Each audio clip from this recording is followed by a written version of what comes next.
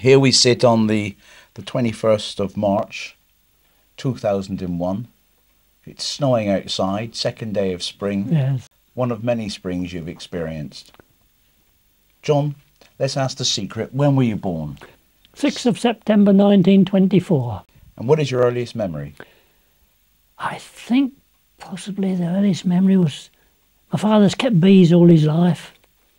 And as a tiny tot, he had some nice candied honey. A little way, we lived in the old bungalow in front of Bob's down there now. What, Bob Hacker? Yeah, Bob Hacker. And he, he had his bee shed just down the garden, or what was the garden then, from the old bungalow. And it was probably the length of this room.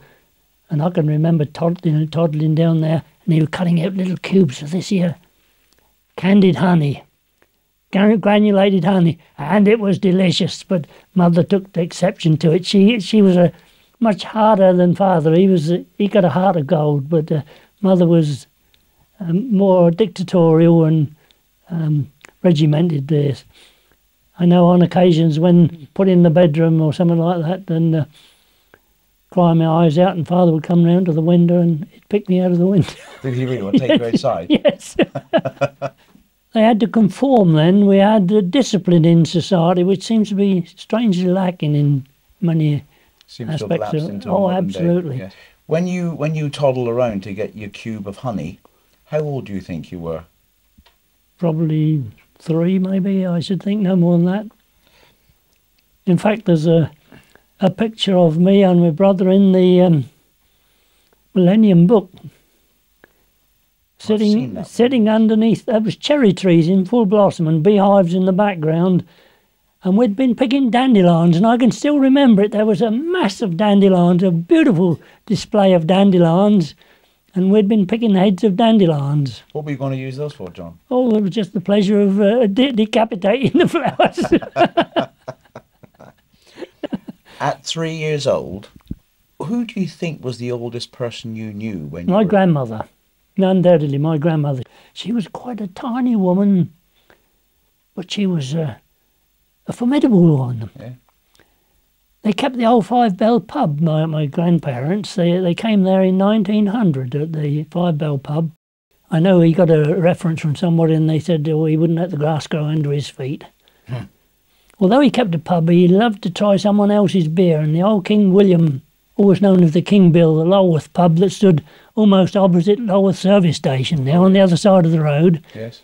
and he would go down there with his donkey and cart. He was a character, and the boys down there, whatever game, They'd push the unharness the donkey and they'd push the shafts of the cart through a five bar gate and unharness the donkey the other side.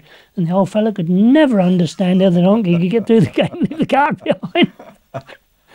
and uh, they said that he was often so blind drunk when he came out that they'd load him on the cart, give the old donkey a slap. He knew his way up the Huntingdon Road or the, the now the A14 and take him back. He rolled him home on his own.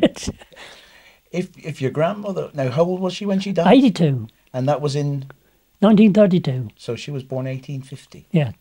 She used to get up quite late in the morning. That was even before I went to school. Get up quite late in the morning, probably ten, half past. And she loved cheese and onion for her breakfast. And she'd cut it up in little tiny dices, these che- bits of cheese and onion, and we'd stand there like a bird with a mouth open. And that was delicious as long as it was someone else's. A little bit of tiny little pieces of Yeah. cheese and tiny little pieces of onion. And yet uh, it was wonderful. Uh, it's, it's childlike, I suppose. But the connection you have with a lady who was born in 1850, she would have had some some understanding of the old empire. Do you remember conversations, or do you remember anything she actually said to you? She probably taught me the alphabet and, and taught it backwards as well. Z, Y, X, and W, V, U, T, S, and R, Q, P, O, N, M, and L, K, J, I, H, G, A, F, E, D, C, B, A. Truth, John. And do you think she taught you that? Yes, I'm sure she did. I think there's probably nobody in the village that could do that.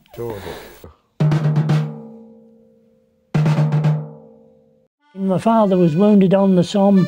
He felt his leg go from under him. He said they'd softened up the enemy lines for several days before with all, all the howitzers and field guns and everything. And the top brass said, Oh, there won't be any Germans there. You'll be able to go straight forward. He said we went over the top. Jerrys were there waiting for us. and he said he felt his leg go and he tried to crawl back to his own lines. He fell into a trench of barbed wire. He said, I don't know how long I was in there, but he eventually extricated himself and he crawled back to a dugout. And that was several hours later because there was German prisoners in in this dugout. And he said Tommies were running along the the bank at the top and they kept pointing their rifles and saying, You so and so's these German prisoners. He said there was several one he was only about nineteen at the time. And he said there was several old enough to be his father. They were crying like children, these German prisoners. Really? And he said there was he was trying to get his field dressing out, but he was so weak through loss of blood and shock he couldn't. And he said it was a young German that saw what he was trying to do, so he took his own out and put on top of it. He really. So there was there The was German helped to save Ah, his life. perhaps. absolutely, absolutely. Sharpnel took the top off his leg, and that remained open and separating until 1970. He was invalided back to Bristol. He used to do a lot of photography, developed his own films before the First World War in the dark room and that. And he became the official photographer there for this uh, hospital at Clifton in Bristol Did he? when he recovered sufficiently. He kept in touch with the old matron. I always remember she used to send him a box of elaborate chocolates at Christmas. We'd never seen anything like it in our house. and he always sent her a can or a tin of honey, about seven or fourteen pound tin of honey. And, and they, exchanged those for, uh, what, from 19, uh, 17, 18, I suppose, when he was in uh, hospital there, right up till about 19, the late 70s. I think he was the life and soul of the party. He um, had his jokes and he was, he was a wonderful fella.